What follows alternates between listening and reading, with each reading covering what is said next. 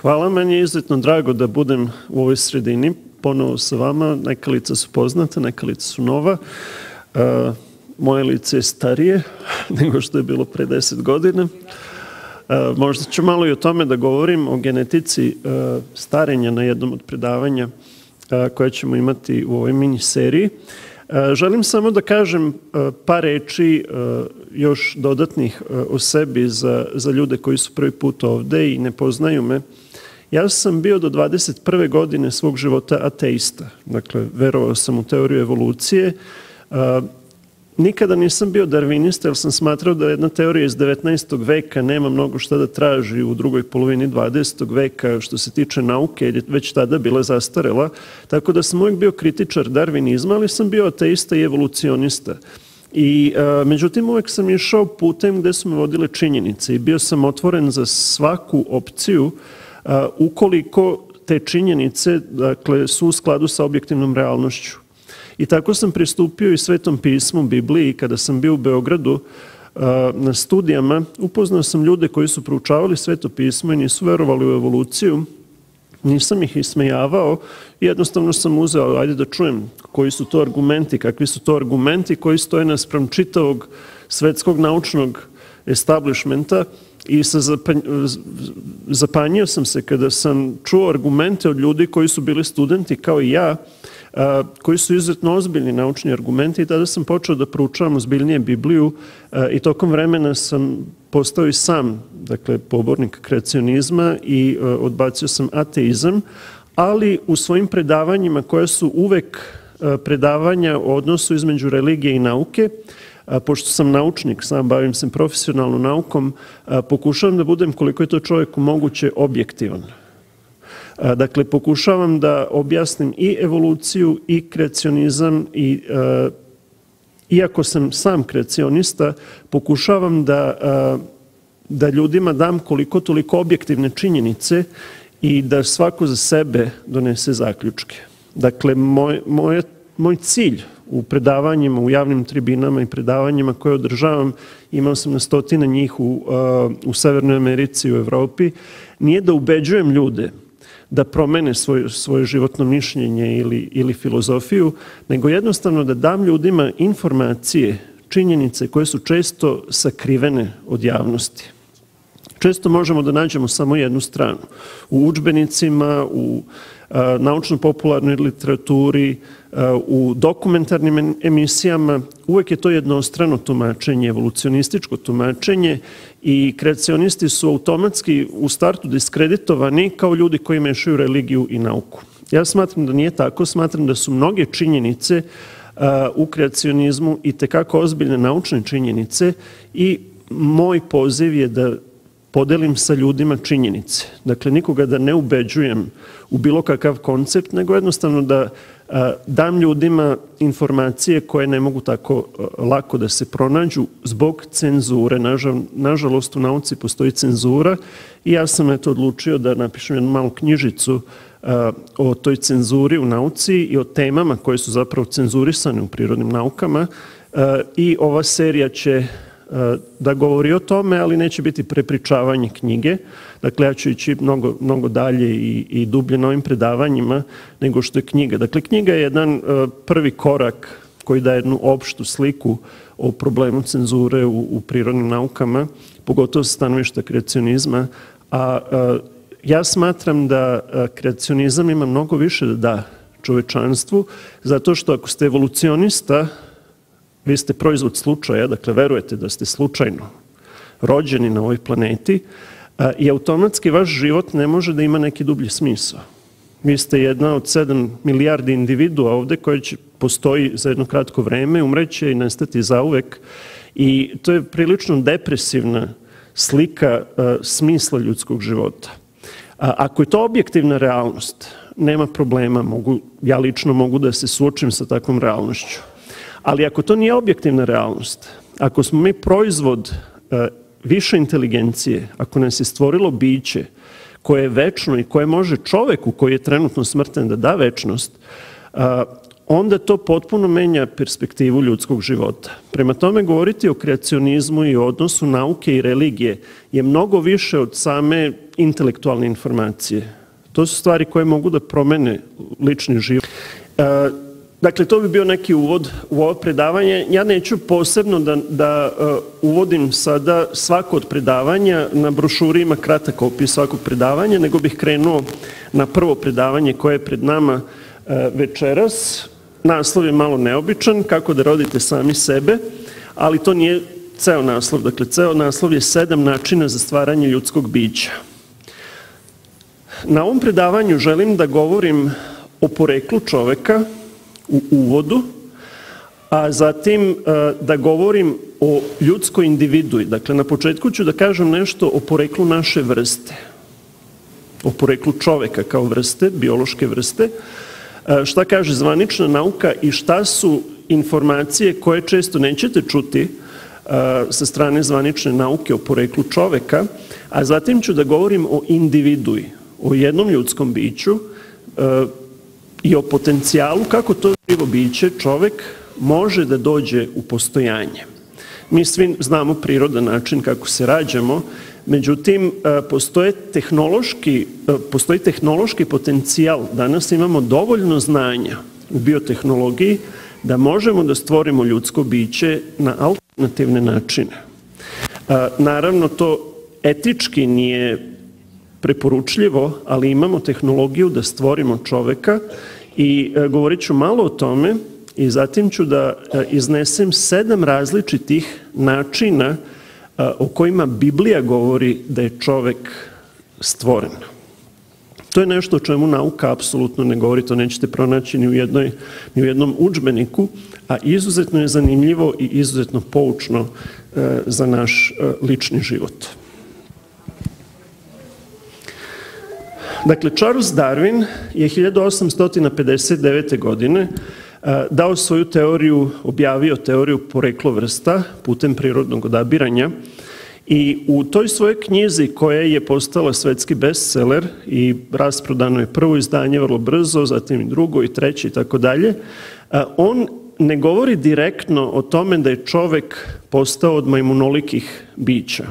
On samo govori o promenljivosti živih vrsta, a između redova možete da čitate da na osnovu sličnosti između majmuna i čoveka e, čovek vodi poreklo od majmunolikih bića. U to vreme, dakle u sredinom 19. veka, to je bila naučna jeres. Jer u to vreme su većina istraživača bili kreacionisti koji su direktno verovali da je biblijski izveštaj o postanju objektivna činjenica. Dakle, da je Bog stvorio čoveka od zemaljskog praha, dunuo mu u nos duh životni i tako je čovek postao živa duša, kako je zapisano u Svetom pismu. I to je bio koncept, dakle, Darwinov koncept da smo mi nastali od majmunolikih predaka, je bio nešto toliko revolucionarno da je promenilo pogled na svet u naučnoj javnosti. Darwin nije imao ni jedan dokaz u prilog čovekog porekla od majmuna, osim sličnosti.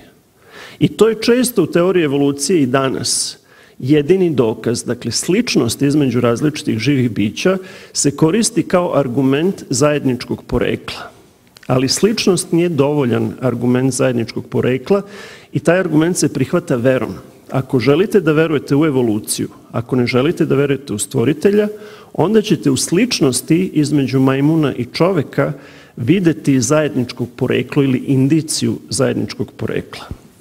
Naravno, umeđu vremenu su ljudi koji su poverovali Darwinu krenuli na sve strane sveta da kopaju i da traže prelazne forme između majmuna i čoveka i pronašli su neke lobanje, neke kosti koje su tema za sebe. Ja danas nemam dovoljno vremena da govorim o svemu, to je tema za, sebe koju ja takođe imam, ali ono što je zanimljivo jeste da nijedan od tih fosila koji je pronađen ne možemo da kažemo da je to čovekov predak.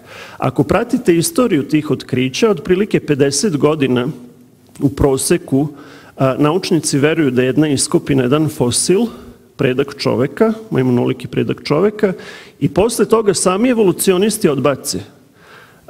Tog predka i onda pronađu neku drugu kosku, onda to izađe u nacionalnoj geografiji, u Nature-u i tako dalje, u drugim časopisima i posle izvesnog vremena dubljim analizama vide da ni to ne može da bude predak čoveka, pa onda odbaci to i tako dalje, ali tokom tog procesa stalno bombarduju javnost idejom da mi imamo majmunolike predke.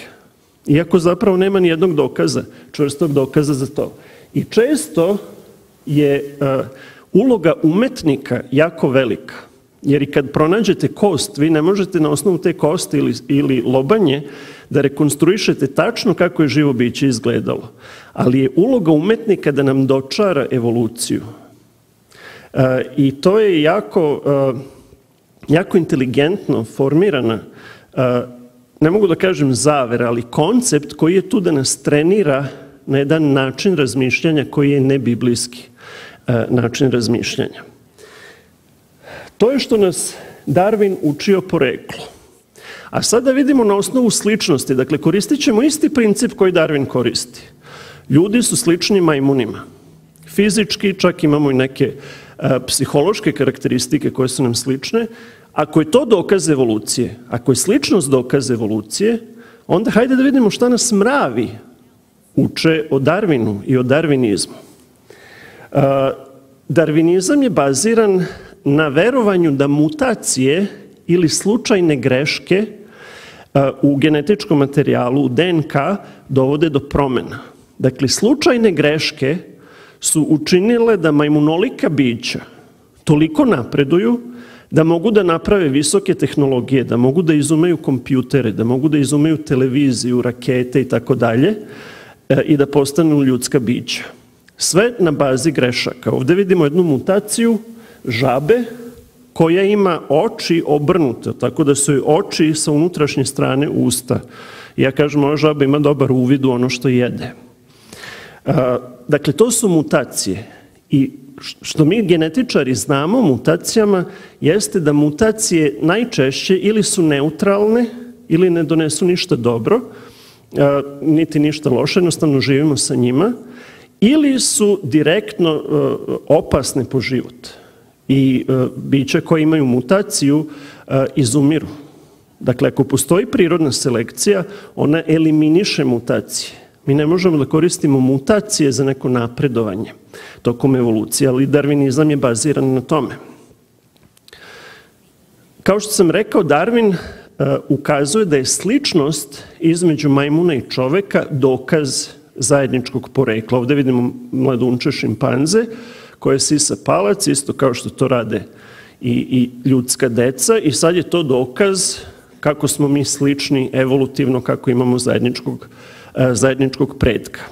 Ako je to dokaz evolucije, ta sličnost, ako je to dokaz evolucije, onda da vidimo neke druge sličnosti i onda trebaju njima da tražimo dokaz evolucije. Svi današnji majmuni ne hodaju uspravno. Postoje fosilne vrste za koje se zna da su mogle da hodaju uspravno, australopitekusi, ali im zapremina mozga nije bila veća od zapremine mozga šimpanze. Uh, uspravni hod je nešto za šta evolucionisti govore da je izuzetno važno za, za uh, evoluciju čoveka, jer je oslobodilo naše ruke da možemo da se bavimo raznim manuelnim poslovima i da napravimo kulturu i civilizaciju. Ako je uspravan hod dokaz evolucije, zašto onda ne verujemo u ljudsko poreklo u pingvinima? Pingvini su ptice koje uvek hodaju uspravno i često uh, vidimo u njima neku sličnost sa ljudima kao da, imaju neka koncertna odela ili kao kelneri i tako dalje ako, gledate crtane filmove. Zašto u toj sličnosti uh, ne vidimo evoluciju? Zašto smo za jednu sličnost slepi i e, zanemarujemo je, a sličnost između majmuna i čoveka e, stavljamo takav veliki akcenat na to kao da je to dokazano, kao da je to dokaz, dokaz porekla, ali naravno nije samo o pingvinima. Ako govorimo o jeziku, ja ću o tome govoriti, ovo prvo predavanje je zapravo uvod u sva naša predavanja u ovoj miniseriji. Ja ću o mnogim temama govoriti detaljnije, E, o ovoj temi o jeziku medonosne pčele ću govoriti u subotu prepodne i to je e, deo knjige Medonosna pčela. Ako govorimo o jeziku, nijedna vrsta majmuna ni šimpanza, ni gorila, ni orangutan ne koriste jezik. Čak ne koriste jezik simbola. E, evolucija ljudskog govora, gramatike i tako dalje potpuno nepoznata. Ako prihvatite teoriju evolucije, morate da verujete da u nekoliko miliona godina su ovi majmuni koji uopšte ne koriste ništa slično jeziku, progovorili i sada koriste izuzetno kompleksne jezike. Ako je sličnost dokaz evolucije, onda treba da tražimo naše poreklo među insektima, pošto je osim čoveka medonosna pčela jedino živo biće koje se koristi kompleksnim jezikom. Dakle, pčele koriste jezik, to je plesni jezik, e, i o tome ću govoriti detaljno u subotu, kojim one saopštavaju jedne drugima gde se nalazi hrana na livadi.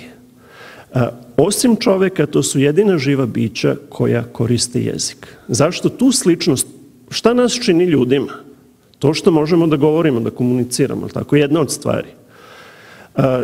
Ako jedno tako vrhunsko dostignuće kod insekata, kao što je sporazumevanje, ne možemo da prihvatimo kao dokaz evolucije, jer očigledno nismo nastali od insekata, nemamo šest nogu kao što imaju insekti, Kako onda možemo da verujemo da isti argument sličnosti između majmuna i čoveka validan samo zato što fizički majmuni izgledaju sličniji čoveku nego pčela?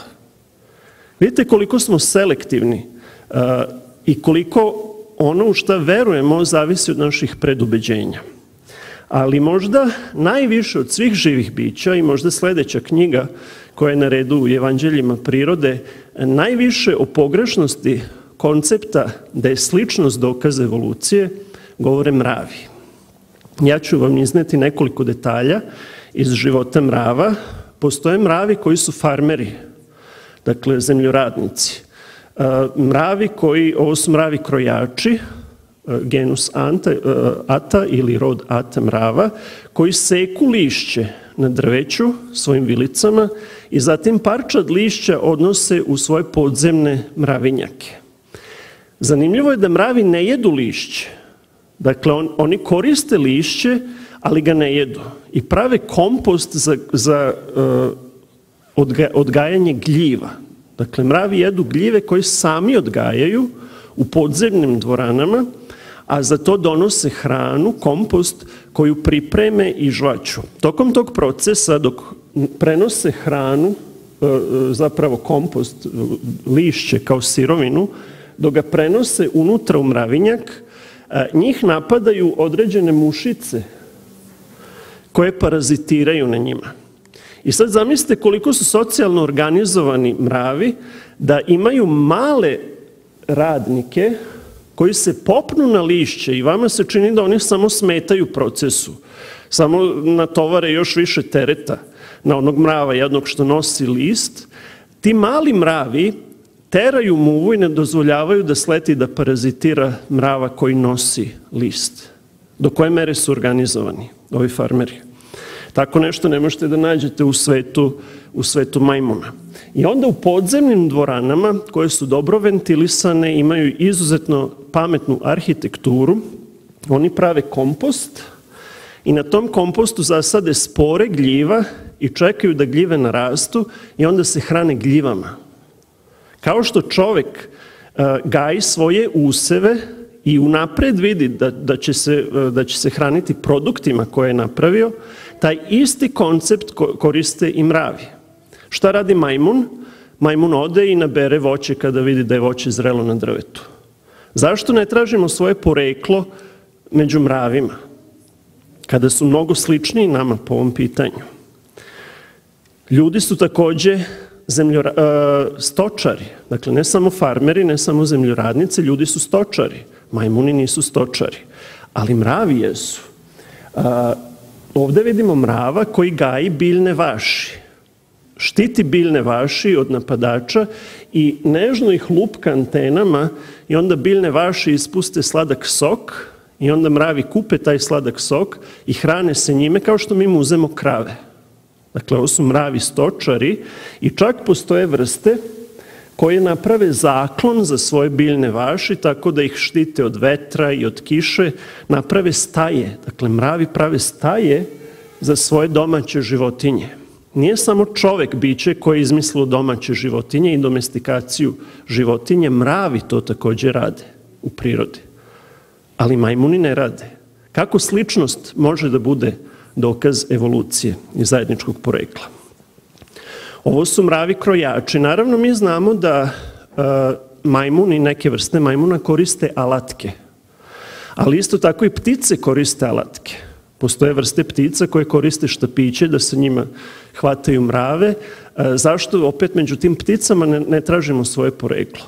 A ovi mravi krojači su izuzetno zanimljivi zato što zajednički prave grad tako što žive na drvetu. Dakle, ovi mravi ne žive pod zemljom, nego žive u krošnjama drveća, u tropima, video sam ih tokom svojih istraživanja na Filipinima, i zajedničkom akcijom vilicama drže list i privuku dva lista zajedno. Ali ako puste te listove, listovi će se vratiti, jer to je grana, grana je elastična, vratit će se gde je bila. A listovi im trebaju da naprave gnezdo. I šta onda rade? Uzmu vlastite larve koje proizvode svilu, dakle ovo je larva mrava koja proizvodi svilu, i svojim snažnim vilicama drže tu larvu da je ne oštete uopšte, ona je živa, i koriste kao tubu lepka, pošto je svila izuzetno lepljiva kod ove vrste mrava, i koriste ovu e, larvu kao alatku kojom zapravo povežu svilom listove. Tako da na kraju naprave strukturu, evo da vidite e, dva mrava koji koriste larve kao tube lepka, na kraju naprave strukturu koja izgleda ovako, izuzetno je složena i vodootporna, tako da u tim tropskim uslovima, u tropskim kišnim šumama, oni imaju na drvetu jedno sklonište u kome su zaštićeni e, od kiše.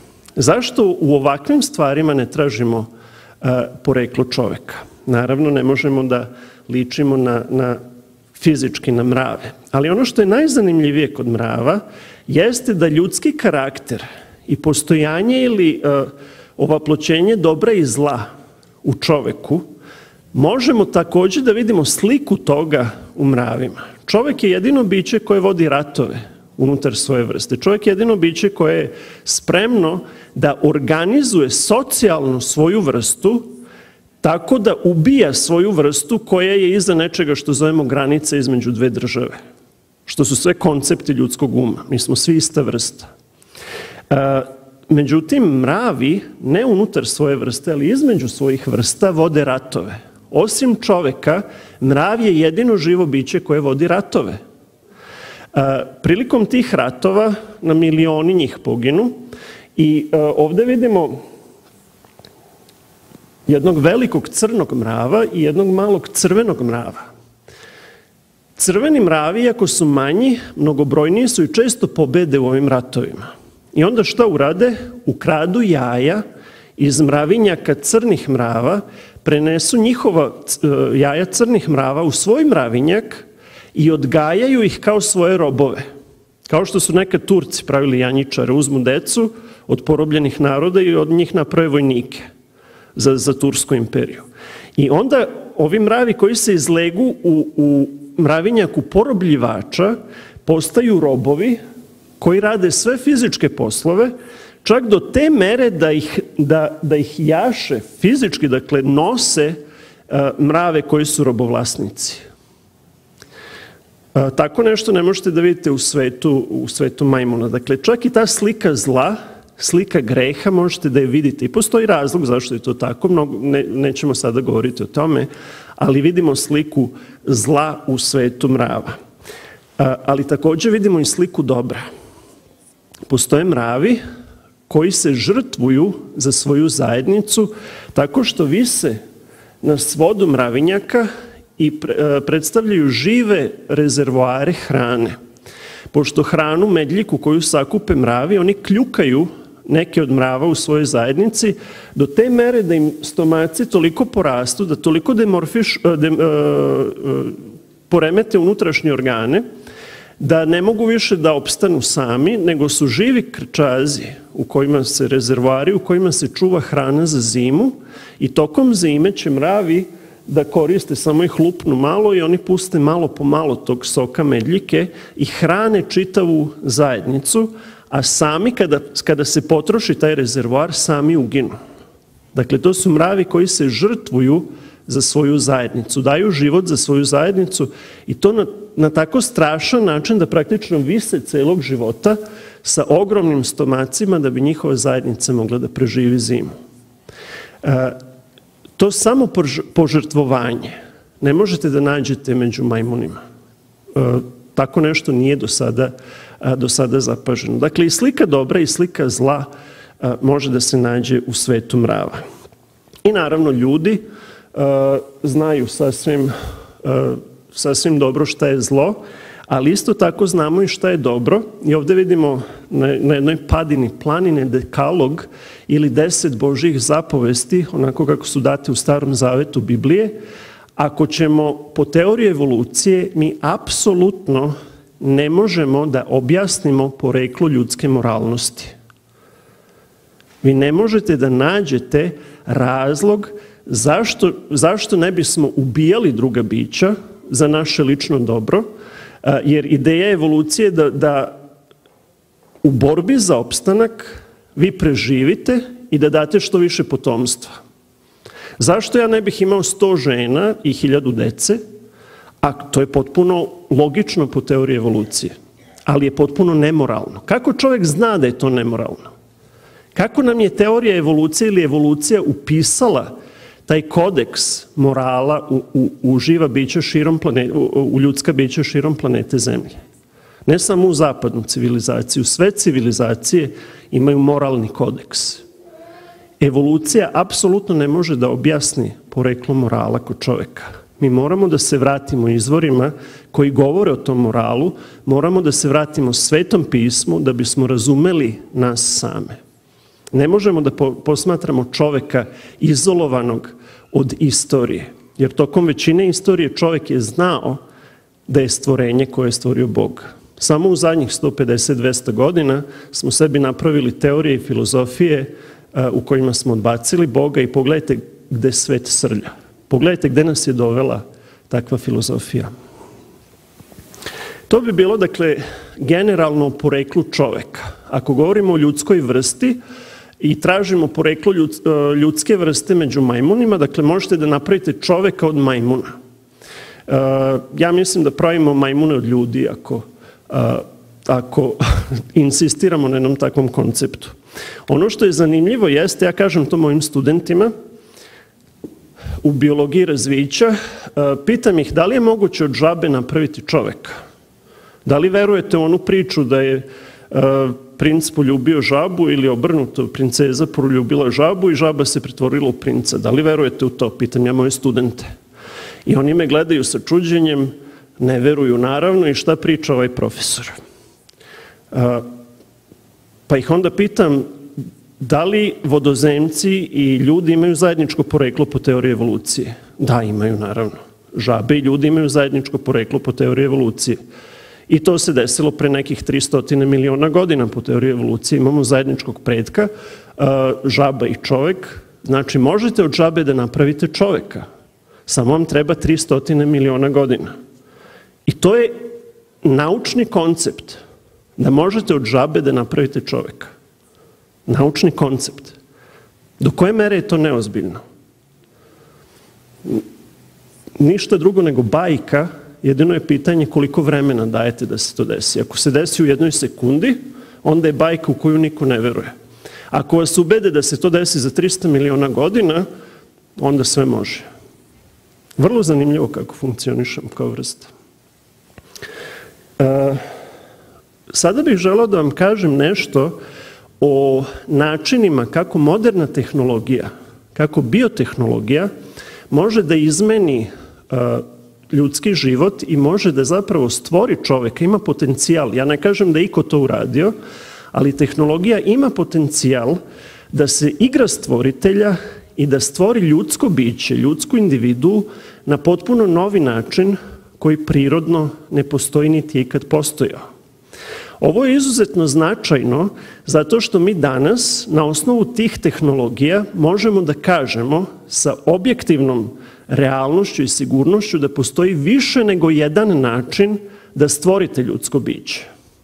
Mi svi znamo da se rađamo seksualnom reprodukcijom i to je prirodni način, ali mi danas imamo zaista tehnologiju kojom možemo sisare, druge vrste sisara da stvorimo na jedan potpuno neprirodan način. I isto tako možemo i čoveka. Samo nas moralni kodeks sprečava da to uradimo. Ako je to moguće, ako je moguće stvoriti čoveka na više od jednog načina, onda sa tom realnošću treba da se vratimo nazad u tekstove Svetog pisma, koji su stari između 2000 i 3500 godina i da vidimo šta Biblija govori o načinima stvaranja ljudskog bića. Ali da im priđemo sa, sa ozbiljnošću sa kojom prilazimo nauci i da vidimo šta nam ta stara knjiga otkriva o nama samima. Dakle, ovde vidimo jajnu ćeliju iz koje pod mikroskopom, iglom, istraživač uh, uh, će da izvuče DNK. DNK je molekul u kome je zapisana genetička informacija. Dakle, sve ono što smo mi, što je nasledno, to je unutar DNK. Ako iz jajne ćelije izvučete DNK i ostane jajna ćelija bez e, genetičke informacije, onda iz druge ćelije, telesne ćelije, možete da ubacite DNK u praznu jajnu ćeliju i da e, začnete život koji će biti genetička kopija one osobe koja je dala DNK. To se zove kloniranje kloniranje ili pravljenje kopija, izvinite, pravljenje kopija uh, živih bića je prvi put urađeno 70. godina u Britaniji. Naučnik Gurdon je klonirao žabe, afričke žabe Xenopus i uh, to ih je klonirao tako što je uzeo jajne ćelije uh, od obične žabe koja je brown boje, dakle pigmentisana je, i uzeo je, izbacio je DNK Znači, DNK bi stvorila žabe koje su pigmentisane, koje imaju brown boju, ali on izbacio tu DNK i iz telesnih ćelija je ubacio DNK žaba koje su bile albino, koje su bile bele boje, imale su mutaciju tako da nemaju brown boju, nego belu boju. I kada je ubacio DNK albino žabe, u jajne ćelije obične žabe, dobio je potomstvo koje je sve albino taj marker, ta boja je dokaz da je napravio klonove, da je napravio genetičke kopije, ne one žabe koje je dala jajnu ćeliju, nego one žabe koje je dala DNK, a to su ove bele žabe. I tako on bio prvi naučnik koji je klonirao kičmenjaka. Žabe su kičmenjaci, kopljeni kičmenjaci kao i mi. I e, postao je vitez, dakle britanska kraljica mu je dala titulu sir na osnovu tog tog dostignuća. To je prvi put da je čovek ovladao tehnologijom kloniranja kompleksnih živih bića. Posle toga, naravno, znate za ovcu Doli, ovo je majka ovce Doli, a ovca Doli je genetički klon. E, zanimljivo da je ovca Doli dobila ime po country pevačici Doli ne znam kako su, kako su, neću da idem u pozadinu svega toga, zašto su je nazvali Doli, da li je to neki vic ili ne. Uglavnom, evo kako se radi kloniranje u, u nekoliko detalja. Kada radite kloniranje, morate da imate jedinku koja će da da jajnu ćeliju. To je prva osoba ili majka, prva majka. Onda trebate da izbacite DNK iz te jajne ćelije i da ostane prazna jajna ćelija. Mi moramo da imamo jajnu ćeliju, pošto za razliku od drugih ćelija, jajna ćelija posjeduje informacije pozicione gde da se stvori glava, gde da se stvore ruke, gde da se stvore noge. Druge ćelije nemaju tu pozicionu informaciju. Dakle, mi moramo da koristimo jajnu ćeliju kao specijalizovanu ćeliju za razmnožavanje. Ali možemo da izbacimo DNK iz te jajne ćelije i da koristimo drugu jedinku koja u ovom slučaju je dala ćelije, somatske ćelije iz uh, vimena i te ćelije su uh, DNK iz tih somatskih ćelija druge jedinke su ubačene u praznu jajnu ćeliju I sad ono što će, što će se roditi je genetička kopija one jedinke koja je dala somatsku ćeliju, ne jedinke koja je dala jajnu ćeliju. Dakle, tu već imamo neka dva roditelja koji nisu prirodni roditelji. Nijedan od njih nije prirodan roditelj. Jedan daje jajnu ćeliju bez DNK, drugi ne daje, trebao bi da daje e, ćeliju sperme, ali ne daje ćeliju sperme, nego daje telesnu ćeliju sa dva seta gena i e, dobijate sada jedinku koja će biti genetička kopija ili klon one jedinke koja je dala somatsku ćeliju za, za. Ali vam treba i treća majka koja će da iznese trudnoću. Jer mi još uvek ne posjedujemo tehnologiju dovoljno naprednu da možete da odgajite embrion i da rodite embrion na veštački način. Mi još uvek trebamo uterus, još uvek trebamo matericu i e, za to koristite treću e, e, treću jedinku koja je surogat majka, koja će da iznese trudnoću i na kraju se rodi mala Doli, koja je zapravo kopija jedinke, ali ima tri roditelja. Nema jednog roditelja, nego tri roditelja. Vidite koliko je neprirodno to. I Umeđu vremenu su slični, e, slične istraživanja su urađena i slični rezultati na mnogim domaćim životinjama. Ovo je prvi klon mačke, takozvana copycat, tako su je nazvali. Copycat, to je prvi klon mačke. A vidite da nije potpuno identična po boji svoje majici. To je zato što postoje nasledne osobine koje se ne prenose preko DNK i samo kloniranje je dovelo do revolucije našeg znanja o tome kako naše navike mogu da se imprintuju, da se oslikaju na našim genima. Upravo što Biblija kaže da Bog u deset zapovesti kaže da Bog pohodi grehe otačke na sinovima do trećeg i četvrtog kolena. Mi nismo imali pojma o tome sve dok nismo počeli da radimo istraživanje na klonovima. I onda smo shvatili da zaista stečene osobine mogu da se genetičkim imprintom prenose na, na, na druge generacije. E, I naravno čovjek od svega napravi biznis. E, prva komercijalno e, klonirana e, mačka je bila kućni ljubimac za koje, koje je uginula naravno, ali je vlasnik želeo da ima klon koji će biti genetički identikal, identičan mački koja je uginula i dao je 50.000 dolara da mu laboratorija klonira mačku. Naravno, to nije ista individua. Iskustvo, memorija će biti potpuno drugačiji, sve ono što skupimo tokom života, ali fizički to će biti genetička kopija iste one mačke koju je on imao. I postoje različiti načini kako mi možemo da, da koristimo kloniranje kao tehniku. Naravno, nismo stigli još do čoveka.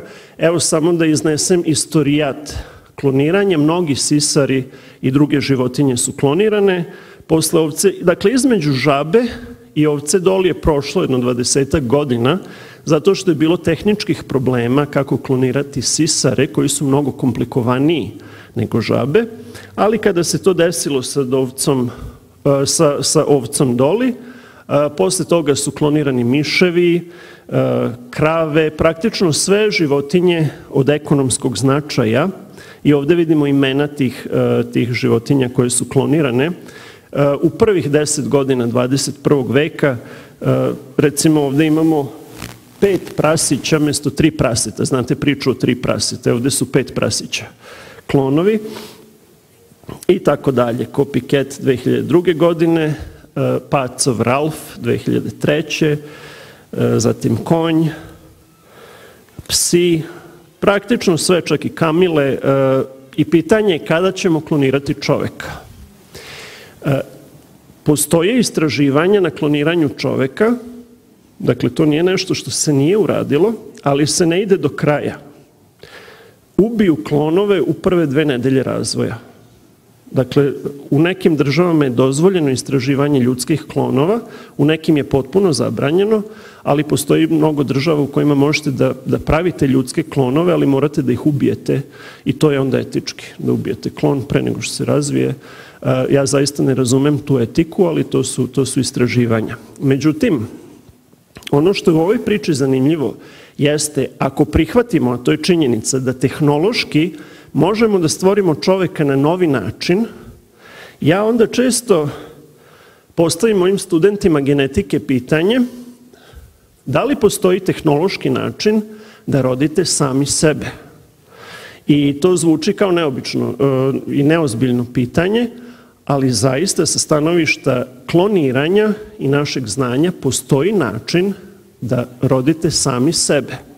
Naravno, postoje određeni preduslovi. Morate da ste ženska osoba, reproduktivno sposobna i da imate neko znanje genetike i onda možete da rodite sami sebe. Kako to da uradite? Dovoljna vam je informacija koju sam već izneo na osnovu kloniranja ovce doli. Dakle, šta je potrebno? Potrebne su tri osobe i ovde vidite za kloniranje čoveka potrebna je jajna ćelija iz koje izbacite DNK, potpuno ista metodologija. Potrebna je uh, potrebna je osoba koja će da da DNK i potrebna je osoba koja će da bude surogat majka koja će da iznese trudnoću. Ako ste reproduktivno sposobna ženska osoba, vi imate jajnu ćeliju, je tako? Iz koje možete da izbacite DNK. Vi imate telesne ćelije, uzmete DNK iz svoje telesne ćelije, ubacite u laboratoriji u svoju vlastitu jajnu ćeliju i samo zamolite nekoga, ako već ne možete sami to da uradite, samo zamolite nekoga da vas veštački oplodi, dakle da ubaci tu jajnu ćeliju u vaš uterus. I za devet meseci ćete roditi sami sebe. Dakle, ako ste ženski biolog, reproduktivno sposobni, možete da napravite svoju ličnu kopiju, možete da rodite sami sebe. Dotle nas je dovela nauka, ali je izuzetno značajno da zapazimo da mi danas imamo znanje da možemo da napravimo čoveka na alternativni način, ne na prirodni način. A Biblija govori o šest, ne jednom, nego šest alternativnih načina da stvori ljudsko biće. Hajde sada da se vratimo u biblijski tekst i da ga posmatramo naučnim očima, sa stanovišta znanja 21. veka, sa stanovišta biotehnologije, da vidimo da li stari tekstovi otkrivaju nešto novo i ukazuju da zapravo postoji jedna inteligencija u Svetom pismu koja nam govori svakodnevnim jezikom o visokoj tehnologiji koja je kroz istoriju stvarala ljudska bića na različite načine, ne samo na jedan način. I mi ćemo ići hronološkim redom i izbrojat ćemo sedam biblijskih načina kako Biblija kaže da može da se stvori ljudsko biće. Prvi način, istorijski i hronološki, prvi način nije način na koji se rađamo, na koji smo svi mi rođeni. Prvo ljudsko biće je bio Adam. Tako i čitamo u, u tekstu u Bibliji, u prvoj knjizi Mojsijevoj, druga glava, sedmi stih. A stvori gospod Bog čoveka od praha zemaljskog i dunu mu u nos duh životni i posta čovek duša živa. Dakle, prvi čovek po svetom pismu je stvoren od zemaljskog praha, od neorganske materije. I posle Biblija kaže da smo prah i u prah se vraćamo. Ne znam da li ste nekad videli mumije u muzeju, ali su uglavnom prah. Čovjek se pretvori u prah, literalno, bukvalno. Kada analiziramo hemijsku strukturu ljudskog bića, onda možemo da zaključimo da u ljudskom telu postoje svi elementi koje možete zaista da nađete u, u glini, u zemaljskom prahu. I ovde vidimo periodni e, sistem elemenata, hemijskih elemenata i čovek ima većinu tih elemenata u sebi. Nažalost imamo i neke koji nam ne bi trebali, E, teške metale koje dobijamo usled zagađenja e, industrijskog otpada, ali većinu, većinu elemenata mi zaista trebamo u većoj ili manjoj količini. I često ćete naći u učbenicima biologije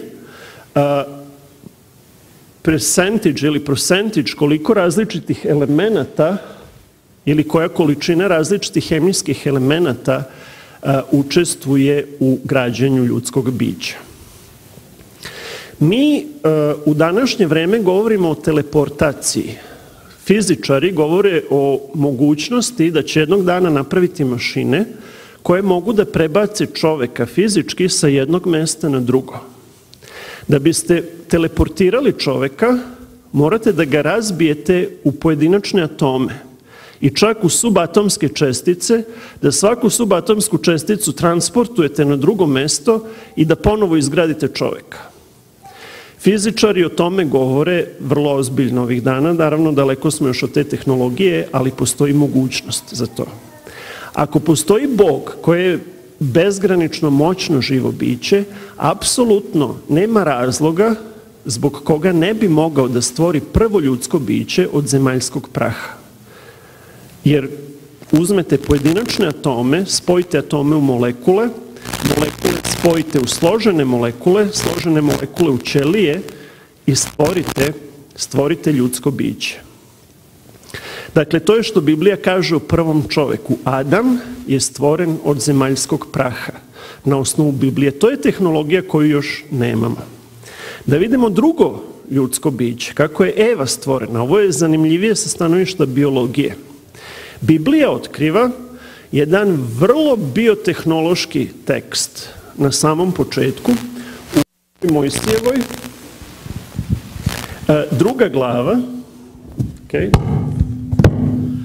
Prva Mojsijeva druga glava 21. do 23. stiha e, ja ću samo deo tog teksta da pročitam i gospod Bog pusti tvrd san na Adama Znači, Adam je ovde subjekt eksperimenta. Tvrd san nije ništa drugo nego anestezija. Dakle, Bog je anestezirao Adama, da govori modernim jezikom. Pa mu uze jedno rebro, dakle, transplantirao i uzeo je rebro, jedno rebro Adamovo, i mesto popuni mesom. I onda je uradio korektivnu hirurgiju. I gospod Bog stvori ženu od rebra koje uze Adamu i dovede je k Adamu. Rebro je kost koja je izdužena kost i ima uh, unutar sebe srž. Koštana srž u našim dugim kostima poseduje ćelije koje su stem ćelije. Do pre 20-30 godina nismo uopšte znali šta su stem ćelije, a stem ili matične ćelije su embrionalne ćelije koje ostaju embrionalne tokom našeg celog života i imaju sposobnost obnavljanja ili regeneracije ljudskog bića. Mi u današnje vreme možemo da kontrolišemo te stem ćelije i a, počela je već i terapija, recimo ljudi koji imaju problema sa hrskavicom, sa joints a, u, kolenima, možete da ubrizgate stem ćelije i da ne morate da idete na operaciju, nego jednostavno obnovite hrskavice i tako dalje. E, I ta stem cell technology e, je toliko, e, nešto što, je, što toliko obećava da naučnici kažu da je to nova revolucija u medicini. Dakle, posle one revolucije kada smo otkrili antibiotike, ovo je sad nova revolucija stem ćelije. Pošto danas znamo za stem ćelije, a pre samo 20-30 godina nismo znali kako one funkcionišu, stem ćelije imaju sposobnost da praktično regenerišu celo biće. Možete da stvorite celog čoveka koristeći embrionalne totipotentne stem ćelije. Tako da sad sasvim dobro razumemo zašto je Bog baš uzeo rebro, zato što u, u srži postoje stem ćelije i iskoristio je kulturu tkiva, da vidimo u današnje vreme neke kulture tkiva. Ovo više nije naučna fantastika. U današnje vreme možete da pravite modele organa i onda dodate stem ćelije pipetom i te, te stem ćelije će da rastu i formiraju hrskavicu i to je sad korektivna hirurgija ako izgubite uho, recimo ratni veterani i tako dalje, možete e, hrskavicu nosa, hrskavicu uve, uha e, da, e, da napravite model, da ga nastanite svojim stem ćelijama i da onda transplantirate to. Stem ćelije ne izazivaju imunni odgovor. Tako da ne odbacite svoje tkivo, jer su to vaše stenčelije, i to, to može da, da dovede do izuzetne, izuzetnog napretka u, u regenerativnoj medicini. Ono što je zanimljivo, mi danas možemo da, da napravimo uho ili možemo da napravimo bešiku, bladder. Bog sasvim sigurno može da napravi čitavo biće od rebra. Tako da sa stanovišta današnje nauke više vam ne treba vera da prihvatite kao istinu ono što Bog kaže da je anestezirao Adama, uzeo mu rebro i od rebra napravio Evu. Danas znamo da je to moguće tehnološki da se uradi. To je drugi način kako je stvoreno ljudsko biće. Da vidimo treći način. Treći način nam je uglavnom poznat. Ne znam da li sam... Ok, moguće. Treći način je svima nama poznat. Dakle, neću se dugo zadržavati na njemu. Prva Mojsijeva, četvrta glava, prvi stih, zanimljivo da je tek treći čovek stvoren na način kako se mi rađamo. Iza toga Adam pozna Evu, ženu svoju, a ona zatrudni i rodi Kaina. I reče, dobih čoveka od gospoda. Mi se danas busamo, naročito tate, vidiš, sam napravio sina, vidiš. Ne, nismo mi ništa napravili, mi samo dajemo DNK, sve je genetički program dat od strane Boga. Činjenica da se dete rodi u utrobi majke, prateći striktni genetički program tokom 9 meseci, to je kao kad imate laundry mašinu pa stavite ili na, na white ili na, na već koje bilo, genetički program koji iz sekunde u sekundu tačno prati šta treba da uradi da bi se za 9 meseci nepogrešio rodilo ljudsko biće. I Eva je sasvim ispravno to tumačila, nije rekla evo evolucija mi je stvorila, samo se stvorilo dete u meni. Eva nije rekla samo se stvorilo dete. Rekla je evo čovek, dobih čoveka od gospoda. I to je prirodno stanje čoveka da zna svog stvoritelja. Ono što je zanimljivo za Kaina i za sve nas jeste da su to prvi ljudi koji su zapravo imali pupak, belly button. Adam i Eva možda im je Bog stvorio takvu vrstu ožiljka, ali je malo verovatno jer oni nemaju biološkog roditelja. Adam i Eva nisu imali biološkog roditelja. Kain je bio prvo ljudsko biće sa pupkom. I, e, dakle, to je način o kome neću više da govorim. E, ono što je zanimljivo, Biblija govori o još četiri različita načina kako možemo da stvorimo ljudsko biće. Četvrti način e, ima mnogo tekstova. Ja neću čitati u proroku Jezekilju u starom, e, u starom zavetu, 37. glava, od 1. do 12. stiha. E, to, su, to je zapravo vaskrsenje.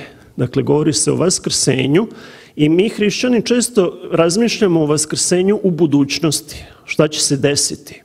Međutim, vaskrsenje se dešavalo i u prošlosti. Isus Hristos je vaskrsao, ali on nije bio podložan, zapravo njegovo telo je bilo u grobu samo tri dana. Biblija govori o vaskrsenju suhih kostiju.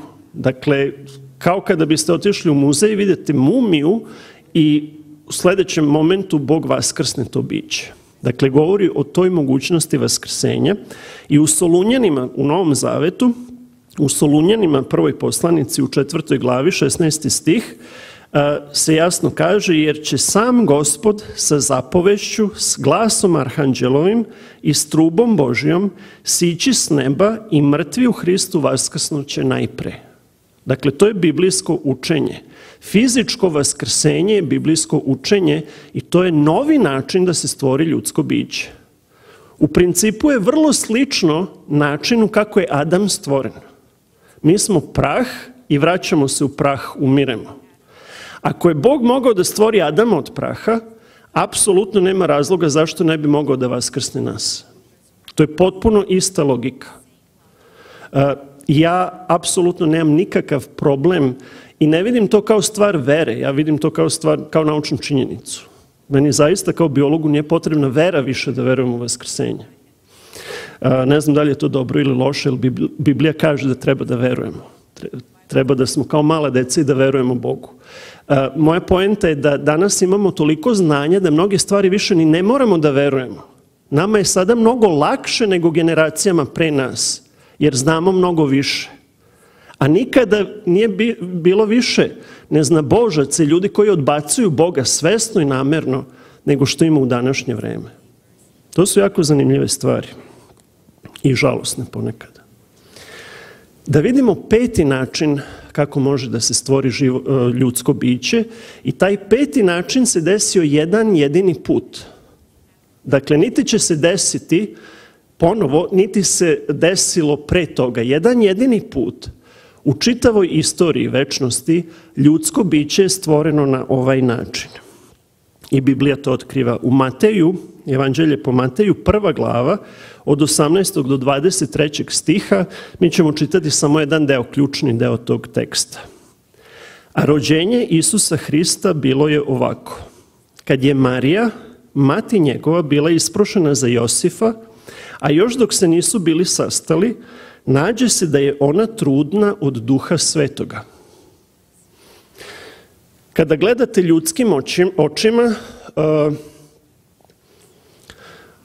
ne bi da komentarišem šta, šta biste ljudskim očima zaključili o, o poreklu Isusa.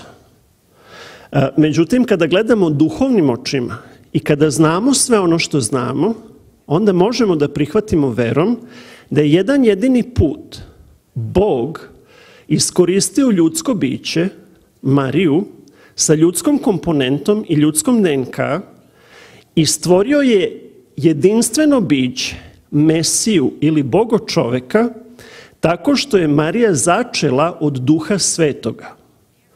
I Isus Hristos je jedino biće i Biblija ga naziva monogenes, jedan jedini od svoje vrste, koji je istovremeno i Bog i čovek.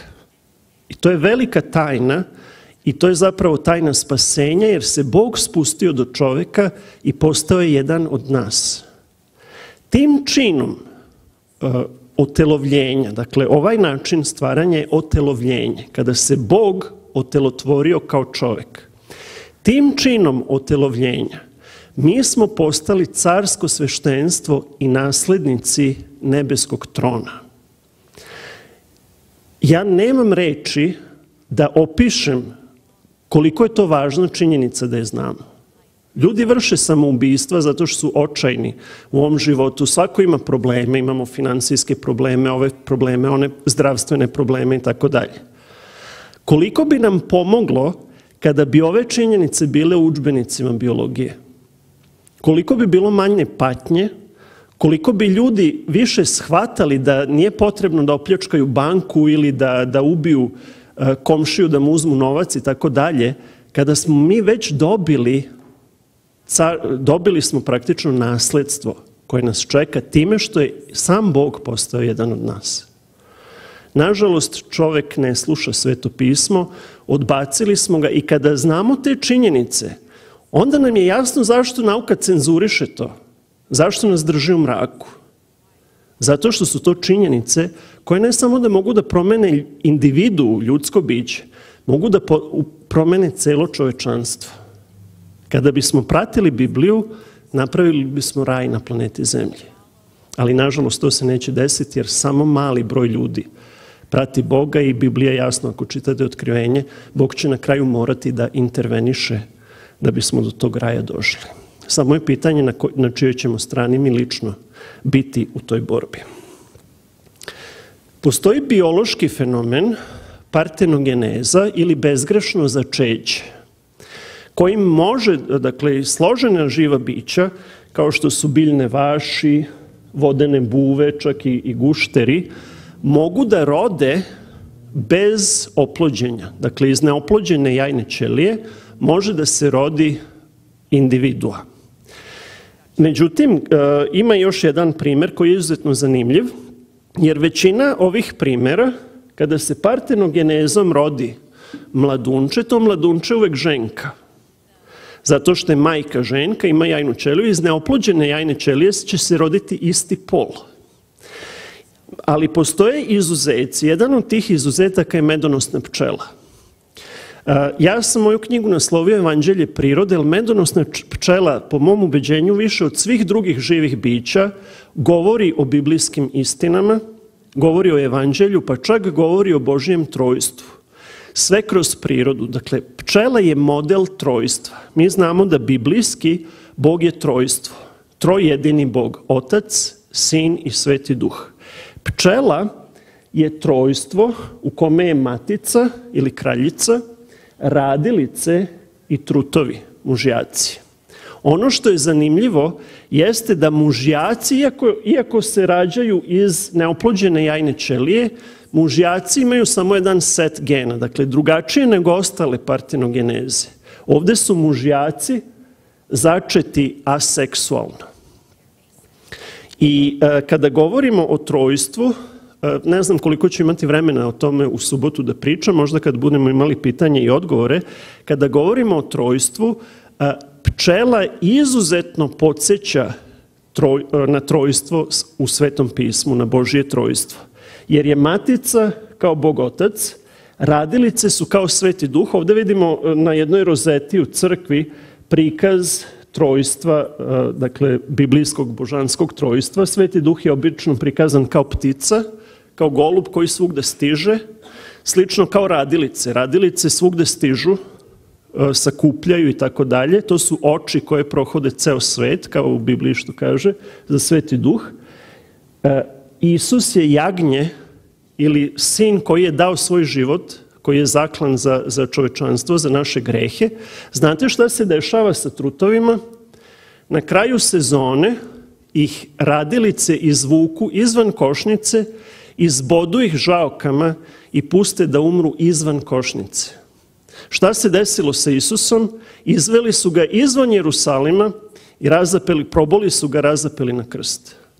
Dakle, trutovi, iako mi danas imamo konotaciju, trutovi su lenji i tako dalje, kad kažete nekom da je trut, uvredit će se. Jer imamo taj negativni stav prema tome. Trut u, u svetu pčele je simbol, jedan od simbola za Isusa i što je zanimljivo, nije slučajno kada razmišljate na ovaj način vam se otkriva, otkrivaju istine biblijske, nije slučajno da trut čak nastaje bezgrešnim začećem iz neoplođenih jajnih ćelija kao što je Isus bezgrešno začet. Međutim, Isus nije začet partenogenezom. To možemo sasvim sigurno da znamo. Dakle, Isus nije rođen iz neoplođene jajne ćelije. Da se to desio, bio bi genetička kopija Marije i bio bi žensko. Mi znamo da Isus bio muško, što znači da je stvoren na jedinstven način – Mi možemo da koristimo partenogenezu kao sliku koja nam pojasni kako se to desilo, ali Isus zaista ima mušku i žensku komponentu. U sebi moraju da ima Y hromozom, koji je očigledno dobio od svog oca, koji nije ljudsko biće. I kaže se da je ona začeta od svetog duha. Dakle, da je on začet od svetog duha.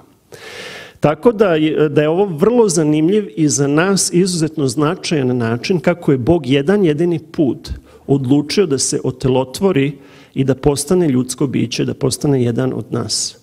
Jedan jedini put, zato što je Bog jedini put kojom, kojim celo čovečanstvo može da bude spašeno.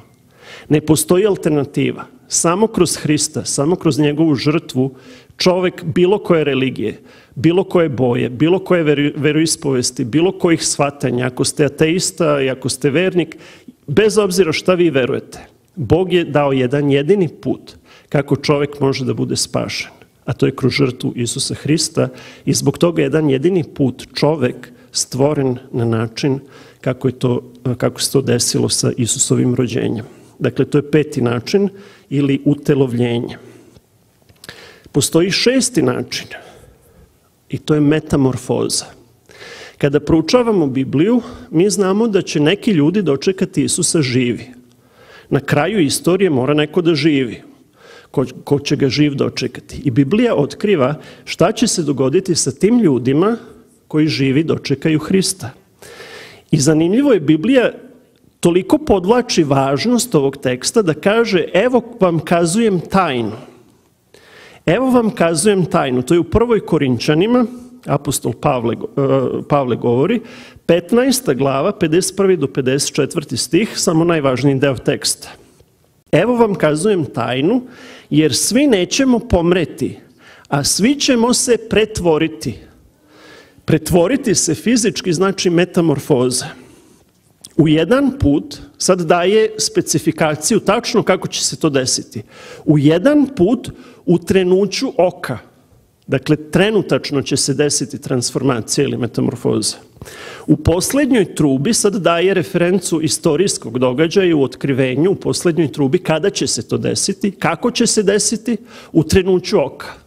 Kada u poslednjoj trubi sve informacije imamo u Svetom pismu, vrlo precizno. Jer će zatrubiti i mrtvi će ustati neraspadljivi i mi ćemo se pretvoriti. Naravno, svi pisci Biblije Novog Zaveta su verovali, nadali su se da će živi dočekati Hrista. Nije se desilo, ali nema velike razlike između vaskrsenja i metamorfoze u oka, bez obzira da li ste u prahu zemaljskom, mrtvi 2000 godina, ili ćete biti metamorfozirani živi. Danas proučavamo metamorfozu u svetu živih bića i o tome ću govoriti detaljno na poslednjem predavanju, dakle u nedelju, uveče, popodne, biološki fenomen vaskrsenja. Pozivam vas da ne propustite ovo predavanje ako može, zato što je izuzetno značajno za nas. Neću samo govoriti o biološkom fenomenu vaskrsenja u prirodi. Ovde vidimo kako iz lutke, dakle prvo imate gusenicu, pa se gusenica pretvori u lutku i posle nekoliko dana iz nje izlazi leptir, koji je potpuno novo živo biće. Danas u biologiji nemamo objašnjenje za evoluciju metamorfoze, još uvek ne zna se. To je čudo koje se dešava.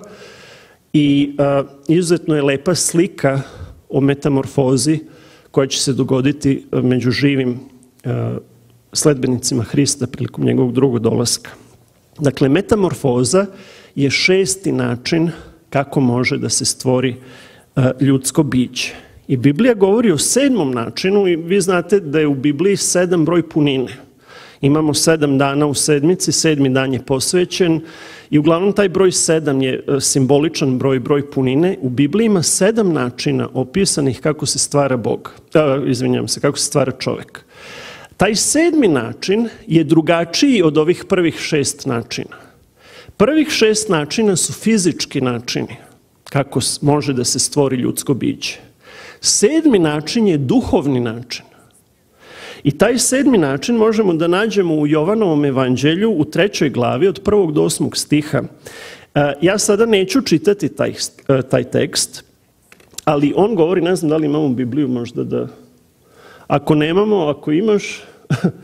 E, tekst je malo duži, uglavnom govori o novorođenju, o duhovnom rođenju.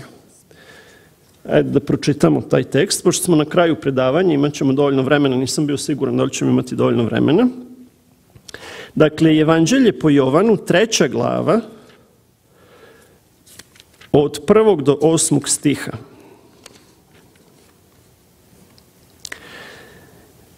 Bijaše pak čovek među farisejima, koji su bili teolozi Isusovog vremena, po imenu Nikodim, knez jevrejski. Ovaj dođe k Isusu noću i reče mu, došao je noću zato što je e, plašio se od javnog mnjenja jer govori sa učiteljem, privlači ga ta nova vest koju Isus ima, ali je on član e, ugledne zajednice, tada teologa, kao što su danas naučnici, i on po noću se šunja da ga ne vide njegovi kolege, ide kod Isusa da ga pita neka pitanja koje, koja ga golicaju. Vidite, ljudski, e, ljudski karakter se nije promenio. Danas većina naučnika, čak i ako veruju, ne smiju da, da priznaju to. Ali ako se stidimo Hrista, Hrist će se stidati nas na kraju. I e, ovaj dođe k Isusu noću i reče mu, ravi, što znači učitelju, znamo da si ti učitelj od Boga došao. Sad on podilazi Isusu, mi znamo da si ti učitelj od Boga došao, ako znamo zašto nije došao po danju kod njega, zašto je došao noću. Jer niko ne može čudesa ovih činiti koja ti činiš ako nije Bog s njim. Odgovori Isus i reče mu. Znači, Isus je prekinuo sad tu hvalopojku i direktno mu odgovara na pitanje. Isus već unapred zna šta će da ga pita. Odgovori Isus i reče mu, zaista, zaista ti kažem, ako se ko nanovo ne rodi, ne može videti carstva Božijega. Reče Nikodim njemu. Znači, Isus mu odgovara na pitanje koje Nikodim još nije ni postavio, otkrivajući da je on Bog da čita misli. A to je upravo tištalo Nikodima. I reče Nikodim njemu, kako se može čovek roditi kad je star? E da li može po drugi put ući u utrobu matere svoje i roditi se? Odgovori Isus, dakle govorimo o stvaranju ljudskog bića ovdje, je li tako? Odgovori Isus, zaista, zaista ti kažem, ako se ko ne rodi vodom i duhom, ne može ući u carstvo Božije. Što je rođeno od tela, telo je, i što je rođeno od duha, duh je. Ne čudi se što ti rekoh, e, što ti rekoh, valja vam se nanovo roditi. Duh diše gde hoće i glas njegov čuješ i ne znaš otkuda dolazi i kuda ide, tako je svaki čovek koji je rođen od duha. Sedmi način je iskustvo hrišćanskog nanovorođenja. Vi ostajete osoba koja jeste fizički, ali kada upoznate Hrista, Sveti duh radi na vama da postajete novo ljudsko biće, ne na oči, nego novo ljudsko biće suštinski. I ljudi to prepoznaju u vašoj sredini i kažu šta se dešava s tobom. Te neko zaludeo, zašto, zašto se promenio? Zašto nisi više, zašto ne praviš neslane šale, zašto ne idemo da se opijemo i tako dalje. Ne, čovek se promenio i postoje novo biće. I Isus kaže da moramo da se krstimo vodom i duhom da bismo ušli u Božje carstvo. Ono što je zanimljivo u celoj ovoj priči, kada posmatrate, tri, e, kada posmatrate ovih sedam načina po Bibliji kako se stvara ljudsko biće, svaki čovek koji će biti spašen za večnost, svaki čovjek koji će naslediti Božije carstvo, mora da prođe ne jedan način, nego tri načina stvaranja. Tri načina.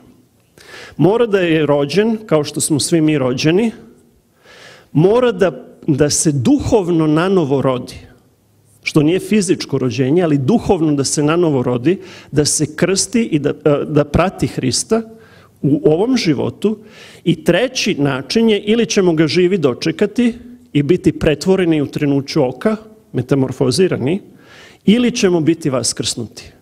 Svako ko se nada da uđe u Božje carstvo imaće iskustvo trostrukog rođenja. Ja se nadam da većina nas ili svi od nas ćemo imati iskustvo dvostrukog rođenja pre smrti. Ja vas pozivam da, da upoznate Hrista duhovno. Ja sam bio ateista, ali sam ga upoznao i, i doživeo sam to da me prijatelji ne prepoznaju. Šta se desilo sa tom, tom drugačiji si? I kada se to dogodi, onda možemo da smo sasvim sigurni da će se dogoditi i treći način. Duhovno novorođenje je najbolji dokaz nama lično, svakome od nas, da je u Bibliji zapisana istina. Kada vi sami posmatrate sebe i promenu koja se dogodila na vama, onda možete da ste potpuno sigurni da će Bog izvesti sve do kraja. Nije dovoljno da smo rođeni u crkvi da bi se nanovo rodili. I često je problem kada smo rođeni u crkvi jer nam je sve dato i onda to ne cenimo. Treba sami, bez obzira da li smo rođeni u crkvi, u porodici koje e, e, generacijama verna Bogu, ili smo rođeni u ateizmu, ili smo rođeni u hinduizmu, ili u bilo kojoj religiji, moramo lično da upoznamo Boga i da mu dozvolimo da nas promeni. Mi ne možemo da se sami na novo rodimo. Pita Nikodim Isusa da li može ponovo da uđe u utrobu majke i da se rodi. I onda mu Isus objašnjava. I to je Božije delo, ali Bog to ne čini ako mu mi ne damo naš pristanak. Dakle, Bog nikada na silu ne menja čoveka. Ako je to naša životna odluka, on ima moć da nas promeni.